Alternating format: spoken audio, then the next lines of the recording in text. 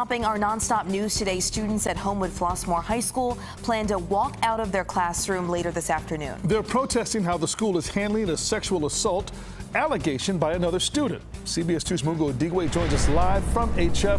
Mugo, what can you tell us?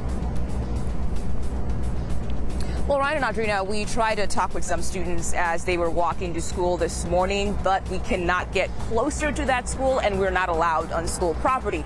We do know, as you said, that students plan to walk out later this afternoon in support of that student who made the accusation. And this would not be the first time they're doing something like this.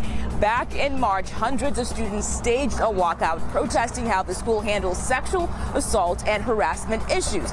As for this recent incident, the girl's mother says the district has not been fully transparent about what happened to her daughter. She tells us it happened on Monday in first period theater class while the girl was rehearsing lines with another student away from the rest of the classroom. The district has acknowledged the incident.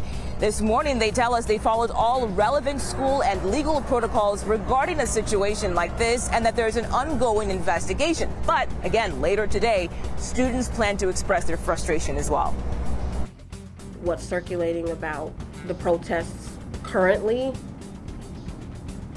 my daughter did not organize or orchestrate. These are other girls who were not heard the first time that feel like this is a second opportunity for them to be heard.